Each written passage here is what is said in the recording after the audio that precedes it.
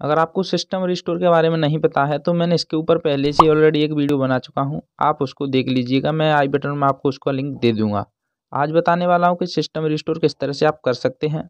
मैं आपको window seven में बताने वाला हूँ। अगर आपके पास कोई भी वर्जन हो, चाहे विंडो सेवन हो या टेन हो, आप उसमें भी इसी तरह से कर सकते हैं। इसके लिए दोस्तों, सबसे पहले आपको अपना कंट्रोल पैनल ओपन करना है। इसके लिए आप स्टार्ट बार में जाएँगे, जिसे हम विंडो बोलते हैं। और यहाँ पर आपको कंट्रोल पैनल का ऑप्शन मिल जाएगा। अगर यहाँ पर ऑप्शन नहीं मिलता है तो यहाँ पर साइड में आपको कंट्रोल पैनल का ऑप्शन मिल जाएगा। अगर यहाँ पर भी नहीं मिलता है तो दोस्तों आपको सर्च बार में जाना है और यहाँ पर आपको कंट्रोल पैनल टाइप कर देना है।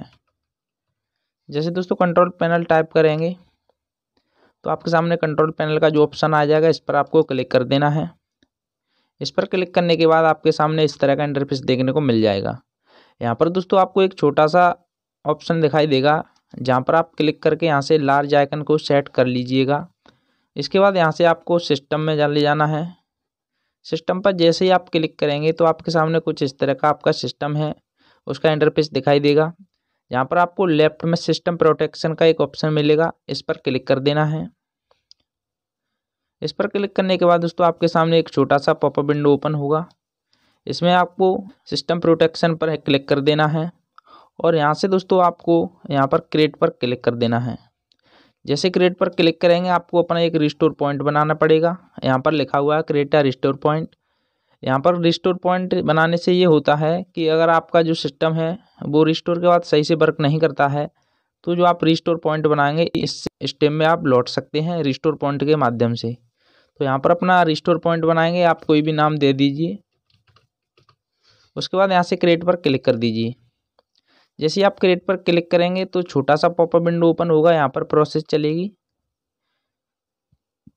इस प्रोसेस को आपने देना है। एक से दो मिनट इसमें लग सकते हैं, आपके सिस्टम के ऊपर ये डिपेंड करता है। से प्रोसेस पूरा हो जाएगा, यहाँ से आपका जो the restore point was created successfully लिखा हुआ आ जाएगा तो आपको क्लोज पर क्लिक कर देना है। और यहाँ से आपको अपना सिस्टम रिस्टोर करने के लिए सिस्टम रिस्टोर पर क्लिक कर देना है। जैसे आप रिस्टोर पर क्लिक करेंगे तो आपके सामने इस तरह का इंटरफेस देखने को मिलेगा, जहाँ पर आपको नेक्स्ट पर क्लिक कर देना है। जैसे नेक्स्ट पर क्लिक करेंगे तो आपके सामने जो अपने रिस्टोर पॉइंट बनाया था, वो सेलेक्ट कर लेना है और यहाँ से आपको नेक्स्ट कर देना है। जैसे नेक्स्ट करेंगे तो आपके सामने इस तरह का इंटरफेस देखने को मिलेगा। आपका जो सिस्टम रिस्टोर पॉइंट है, वो सी ड्राइव में बना हुआ है, यहाँ पर देख लीजिए। और यहाँ से जैसे आप फिनिश करेंगे तो आपका जो सिस्टम है, वो रिस्टोर हो जाएगा। तो कुछ इस तरह से आप अपने सिस्टम को रिस्टोर कर सकते हैं। लेकिन दोस्तों, बिल्कुल कन्फ्यूज़ मत होइएगा। रिस्टोर और रीसेट अलग अलग होते हैं। डिफरेंस होता है। ये सिस्टम रिस्टोर के बारे में आपको बताया जा रहा है। ये सिस्टम रीसेट नहीं है।